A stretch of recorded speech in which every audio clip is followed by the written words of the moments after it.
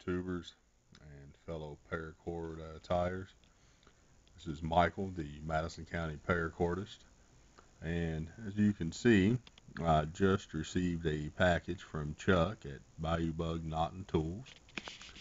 And uh, now, normally I don't do these kind of videos, but uh, after opening it up and seeing the quality of the, uh, the items he sent me, I figured, you know, it was worth letting everybody know uh, what I got.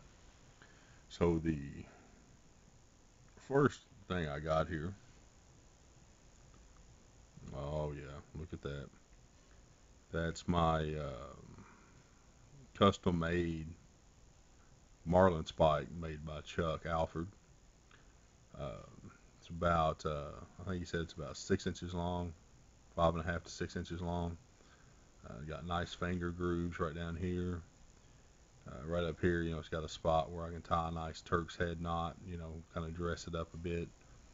I mean, literally, you know, has a mirror finish to it, you know, came wrapped, um, you know, so it wouldn't get uh, scuffed up, you know, during uh, shipping or anything. Um, very nice product. I look forward to using it on uh, something I tie this evening that here. now also uh, got a couple of paracord fids from him. Uh, if people don't know what paracord fids are, they're long needles that's used to uh, weave in uh, other pieces of paracord in and out of a uh, tighter weave that you've already done. Got two different fids from him. The first one looks to be about five and a half to six inches. I didn't put it on a measuring tape, but uh, got a nice flat, kind of rounded into it.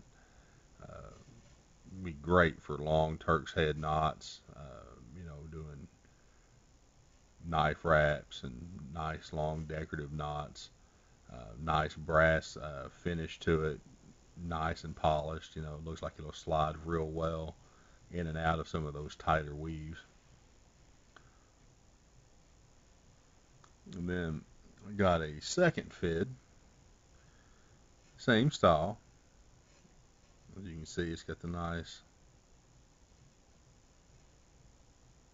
flattened tip. And I like it's kind of rounded off a bit here, so it's not going to catch, you know, and um, fray the paracord when you're trying to get it in those tight weaves. Uh,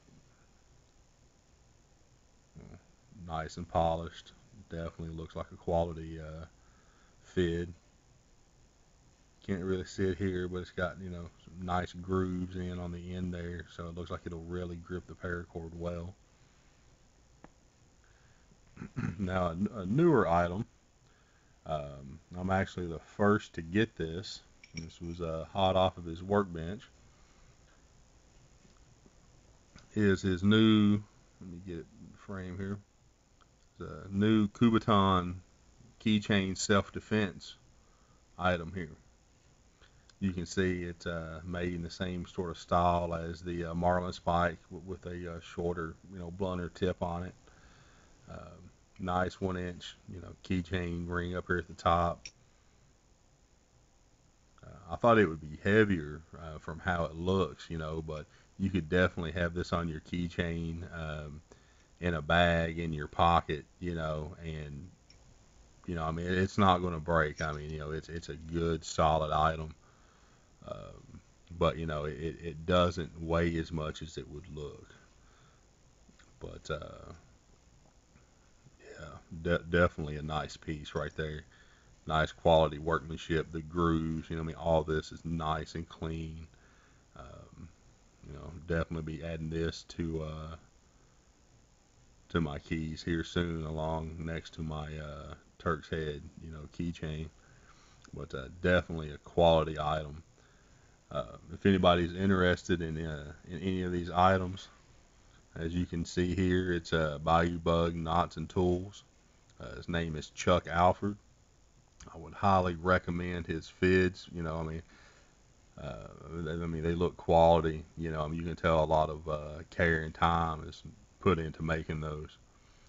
But um, he also has a Facebook page which uh, Bayou Bug Knots and Tools on Facebook. It's a group for uh, people who like paracord and uh, you know, tie knots. You know, it's a great community. A lot of really cool people there that know a lot of stuff. Uh, you know, so uh, you know, check them out. And uh, as always, if you like my video, like and subscribe. Thanks for watching. Bye.